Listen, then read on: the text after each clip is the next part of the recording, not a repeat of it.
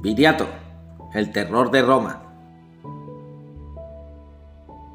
Fue un pastor y líder de la tribu de los lusitanos que hizo frente a la expansión de Roma en Hispania a mediados del siglo II a.C.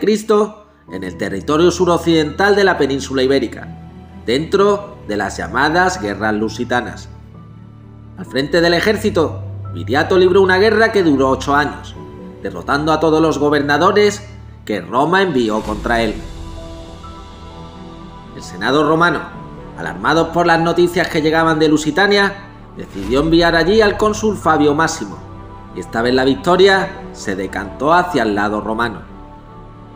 Tras el fracaso ante Máximo, el ejército lusitano se rehizo, siguió humillando a sucesivos generales romanos hasta que Roma echó mano de otro general prestigioso, Serviliano, y es ante él donde Viriato consigue su mayor victoria, derrotando a 20.000 hombres, más 10 elefantes y 300 jinetes.